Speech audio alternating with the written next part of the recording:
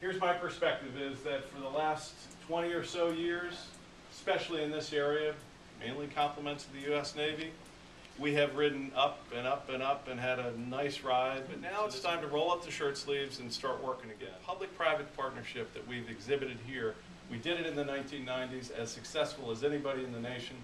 Uh, we need to renew and, and reinvigorate that. Some of the greatest assets here, we've assembled some of the best talent in the nation.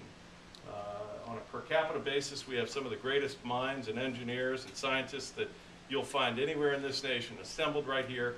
Most, of- much of it compliments of the U.S. government, the U.S. Navy.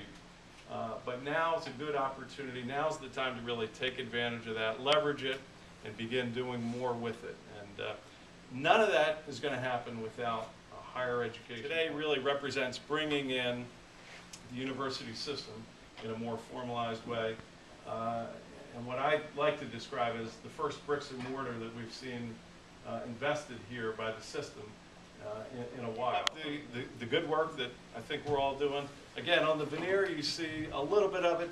Beneath that, as you drill down, you see a lot of hard work going on by a lot of folks, and we've got to continue that. We've got to pick that pace up even a little bit, roll the shirt sleeves up, and we have a very bright future. So, thank you very much, and. uh,